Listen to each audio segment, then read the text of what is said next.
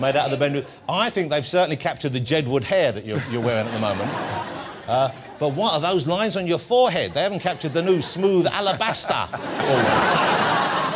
and that's an odd colour they've made your face, eh? Looks like you've just opened the news of the world. Look at it.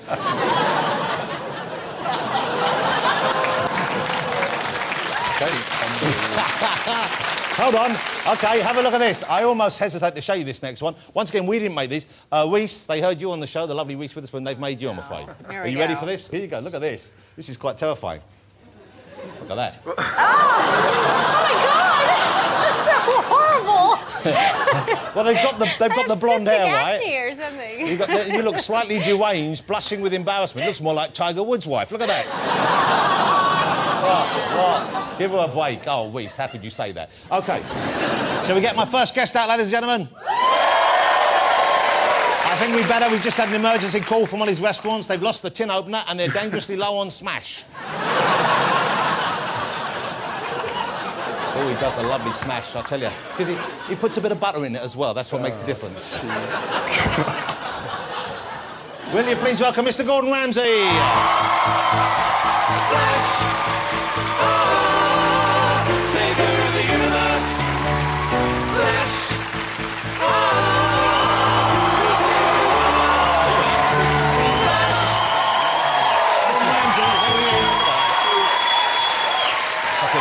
You're looking good, Gordon. Good to see you. Thank you. Good to see you as well. How lovely to have you here. Now, Thank you. Gordon, before we start, there's Yes. so much to talk about, but you know it's kind of all changed you a little bit. Right. Uh, we don't really have the swearing on the BBC so much anymore. when I swear on the show, sometimes they, they tend to cut it out. Right. And they're a bit worried about you coming on because, of course, you, you, you do swear quite a lot more than just about anyone else, it seems. Sometimes, even after 10.30? OK, well, they're a bit worried. So they've given me this. Do you know about this? Have they asked you about this? This No, is the new nothing. BBC, uh, I think it's called the Compliance Atron 3000. OK? and, and you have to wear this, I'm afraid, during the course of the interview. You see those two prongs there, ladies and gentlemen? Yep. Uh, they will send an electric shock Oh, into... if there's any swearing, they will. I'm afraid they will. Does And it work? I'm afraid it does, yes. So, do Have you got one? Do you want me to test... Yeah, I don't it, need one. Please. Do you want me to test it for you? Please. Thank you. Yeah. Because if you're not feeling it, I can turn it up. No, no, no, it's no, only, no, no, no, don't turn it up. It's only on three. It goes up to eight. I want it- Okay. I'll- I'll- I'll That's for it special words. okay. Uh, Gordon, it's great to see you. Likewise, good to see you too. Uh, you're, as I said, you are looking a bit smoother, and this has been in the newspapers. No, no, because well, let's get this out of the way. It's a, it's a slightly less craggy Ramsay than we're used to. I, I, had, I had two lines. You, yeah, I know you've been very honest about this. You Yeah, had those lines, there, didn't you? Yeah. Yeah. Um, it was suggested by um, Simon Cowell one night having dinner. He said, look, do something about that. I've got a friend that can sort that out. So I didn't really think much of it. And then the next day I thought, do you know what? I'm going to take his advice and go and do it. And it was uh, a little bit weird. I haven't done within like, sort of three minutes. But yeah, just two little laughter lines. Because yeah, there was there. But why did you feel the need to? Because it's not vanity as such. No, no, no. um, I'd never actually thought about it until actually somebody had pointed it out. But every time we go over to the States and we sort of cook and um, get close uh, to customers, they look at you in a very strange way. And first question they ask was, my God, how old were you when we went through the windscreen? Jesus. Yeah, Which is a little bit sort of, you know, over the top. So I tried it. How old it- were you when you went through the So, I mean, it, it was only done within sort of three minutes. So what did he do? What did he was got sandpaper involved, or what did he do? Was it a laser? I, I don't know much about these things. I haven't had any. You've never had anything yet. done? Yet, I'm going to have some. I think I might have some done. For your 50th birthday? Yeah, I'm going to have some really big knockers right out here. Just going to see how it feels to get that kind of attention from men. So I had a uh, little procedure with a um, sort of a small needle, and it went underneath the line and just like scraped underneath and sort of just pushed it out. And they It put. wasn't Did they use filler in there? Did they put any stuff in there? Like It wasn't any- like a, a sort of filler. It was like a sort of gel. Oh, gee. But it, I mean, I, I didn't even feel the sort of uh, the prick, you know, in terms of.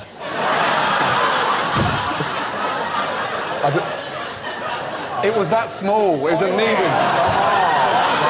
Did, did you say, is it in yet? So- No, no, no. I said, is it done yet? Is it done yet? Um, but you, we, I think you've got to be careful because look, here, here's how you look right now. Okay, this is if we look at the photo from before. Okay, now you look at the lines removed. The next one, Yeah. we sort of smoothed out. Okay, and then yes, like a baby, like a Oh, baby. And then we go a little bit further. And next time you come in, you're looking like that. and then yes, it's a slippery slope, Ramsay. Don't take that off. And then look at this next one. And then who knows? Who knows where it could lead? Who knows? Who knows what delights will lie in store for us in the future? Come on. Just Come all I'm saying is just be think once, think twice. Thank think, you. Think safe. Okay. Right. Uh, all right. Uh, before we talk about all the cooking, let's uh, just get. It's been. Let's face it. It's been a tough year for you, hasn't it? Any number of ways. There's been a lot of things coming at you, coming your way. It's, been a, it's been a very tough year. Very What hard. month was it you decided to cancel all the newspapers? When, when, when about did you decide, OK, I've had enough of that? Thank you. Uh, smart ass. Well, no. hey, I'm in the same boat to an extent. I cancelled mine last November. I stopped reading the papers when they started writing about me, so I know what you kind of what you're going Uh, through. really weirdly, on my birthday last November, uh, literally uh, 14 months ago. So, um, yeah, it's been a tough one. Yeah. Learned a lot, um, get my head down, and continue to do what I'm good at doing and um, fighting the fires. But And, you're, and, and the businesses, I know that there's uh, all businesses are going through a bit of a tricky time now. Yep. Uh, I've been reading about yours, but you're, you're kind of consolidating, you're getting rid of some, and others you're shoring up. What's happening with all the restaurants? no one saw it coming in terms of a uh, recession. We opened up uh, nine restaurants in a period of 15 months. Uh, very, very hard. Big success in Paris, New York, LA. Um, the euro became stronger than the pound for the first time in 10 years, which caused uh, a lot of cash flow problems. Um, we consolidated, I think, really.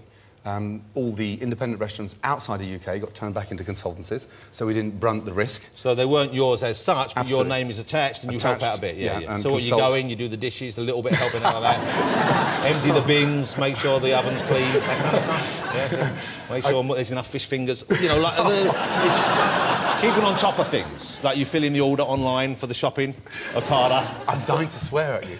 Well, go ahead, go ahead. Not, just try one. Let's just try one. Arsehole. You see, but it's good. It will teach you another. Right, okay. So Um, turn it up one because that No, was no, a bit no, slow. no, it's Okay. absolutely fine, thank you. you've, got a, you've got a really big lump on the top of your... What? So, I'm sorry. I thought. Sorry, I thought that. I thought you said something else. what? But there's like a... It's like a cyst growing on... I beg your pardon. I'm sorry. I didn't quite hear that. Was that? you, need, uh, you need to see a doctor. Leave it on. I like this. uh, all right, you must be relieved then Christmas is coming because uh, it, it kind of draws a line on what's going to be behind you at the end of the year. You can look ahead. You know, you've got a, you know a fresh start coming. What do you have planned for Christmas? What's Christmas hold for you and the family? Hey, Christmas is a bit of a busman's holiday for us. I mean, um, it starts at the beginning of December and, you know, restaurants are, are crazy. Customers are excited and very happy. Yeah. So by the time you get to Christmas Day, the last thing you want to see is a turkey. Um, they will have a nice uh, family Christmas uh, So when do you start? So you don't do a, Christmas dinner in your restaurants, do you, or do you do a, a kind of like a, a kind of like fancy version of it for people? You must, do, I guess, is it? Uh, no, no, the clarity is we have a classic, you know, um, Christmas Day celebration, and they have um, Father Christmas and uh, all the sort of decorations and bits and bobs. But uh, no, this Christmas we're going to be together with some friends and just have a, a nice chilled out Christmas day. I think I know who your friends are. Oh, yes, I've got a bone to pick with you, Ramsay. I've known Gordon for a long time. I've eaten in his restaurants. I've paid to eat in his restaurants. Always have a great meal. He's never once offered me a freebie, which you'd think he would, right? But he's never said, "Oh yeah, you want something on a sandwich or something on a pop round, or you want some mince pies at Christmas." No. But I found out that the Beckhams, oh yeah, the Beckhams, uh, every year you've been sending someone over to cook for the Beckhams, and this year I believe you're cooking for the Beckhams. I am not cooking for What are you doing Victoria. We're having lunch together with the families. Well, who's cooking? You don't want her cooking. You're not going to let her. She doesn't. She doesn't know where the bloody kitchen is. She You leave, can. it, you leave it her. It'd be Domino's turning up at Christmas Day. Fifty-four pounds. She does eat, and she eats exceptionally well, just healthy. But uh, David's quite a good cook. David's a good cook, is he? Yeah, no, he cooks. I mean, Victoria cooks as well. Okay, yeah. Um, so you're going to have uh, you're going to have Christmas. That'll be nice, and that'll be a Yeah. nice day. Christmas Day, yeah, it'll be fun. Uh, and what present are you going to take over there? I'm not too sure. I'll think about it. I don't like shopping too early. I think when you start shopping for presents Yeah. at the end of October, it's boring. You get to sort of middle of December. What are you getting me this year? So, yeah, fuck all. Leave it on. Leave it on. I'm going to get you a running machine, a running machine. you fat bastard. No. okay, okay. You need to lose a little bit of weight. Just a little bit here. You look like I do dog. need to lose a little bit. I might get some work done. Do you know anyone I could go to? Okay. Uh, what are you cooking for us this evening? Because uh, Gordon has put his name, and let's face it, it's a name which is internationally famous because he's made a huge success not only of his businesses here, but in America. You're one of the biggest, best-known stars. Your reality show is the, the biggest reality show on American TV. Yeah. That's some achievement, ladies and gentlemen. Let's Yeah. hear it for Gordon. So, yeah, you know, let's not forget. And it's because of who you are and what you do. Um, And Gordon has put his name behind Comic Relief, which is always a lovely thing to hear, and uh, has some sauces out called Seriously Good Sauces. There's a picture of Gordon. Uh, I think is that pre or post op? I can't remember. With the sauces there, the sauces there, looking lovely. Uh, and Gordon doesn't get any money from that at all. Uh, money goes to Comic Relief from the profits of those, and that's a, a lovely thing there. And, and the sauces are pasta sauces. Yeah, right? pasta sauces, and not just for pasta, but uh, fish, chicken, meat, great lasagna. So like cooking sauces, basically. Yeah, cooking sauces, but they are absolutely delicious. Okay. And 10,000 times tastier than Jamie Oliver's. Oh, really? They're very nice. Whoa.